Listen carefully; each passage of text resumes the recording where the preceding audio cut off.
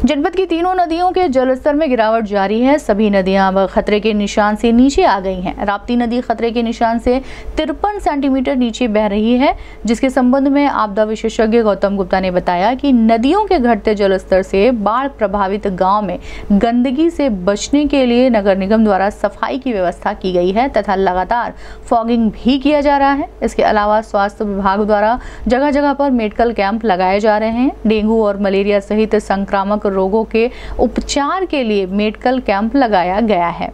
उन्होंने बताया कि अभी तक जनपद में एक लाख चौबीस हज़ार चार सौ बारह लोगों को बाढ़ राहत सामग्री का वितरण किया जा चुका है। ज़िले में स्थिति समान है। इस संबंध में गोरखपुर न्यूज़ से बात करते हुए आपदा विशेषज्ञ गौतम गुप्ता ने कहा।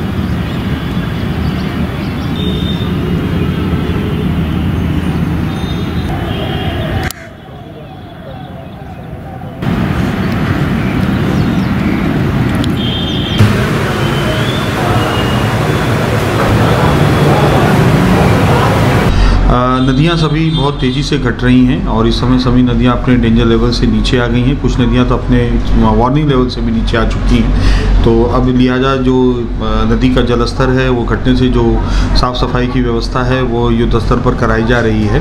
और सभी डिपार्टमेंट्स को निर्देशित किया गया है कि वे साफ़ सफ़ाई की व्यवस्था सुनिश्चित कराएँ। फॉगिंग इत्यादि भी करा, लगातार D P R O office के माध्यम से कराए जाने के लिए डी एम सर द्वारा निर्देशित किया गया है। और जहाँ, यहाँ पर भी अभी मेडिकल कैंप्स भी आयोजित किए जा रहे हैं विभिन्न ग्रामों में। और साथ ही यह भी डीएम सर द्वारा निर्देशित किया गया है कि वहाँ पर जो मलेरिया और डेंगू आदि जो भी संक्रामक बीमारी से जो समस्याएँ हैं, उसके लिए गाँव में कैंप करके लोगों को जागरूक भी किया जाए और लोगों को अलर्ट भी किया जाए। तो इस तरह से भी सब स्वास्थ्य विभाग टीम द्वारा इसको कार्य किया जा रहा है। तो जहाँ जहाँ पर भी जो भी दिक्कतें हैं कंट्रोल रूम के माध्यम से लगातार उसको अपडेट भी किया जा रहा है। उनकी मॉनिटरिंग भी ग्राम प्रधान गण से वार्ता करके की जा रही है। तो अभी जो भी स्थिति है, वो धीरे धीरे अब सामान्य हो जाएगी। सर अभी तक कितने किटों का वितरण किया जाए देखिए अभी तक हमारे वहाँ एक लाख चौबीस हज़ार चार सौ बारह किट का अब तक मतलब वितरण किया जा चुका है। और ये अभी तक जो आज तक की जो फिगर प्राप्त हुई है वो यही है।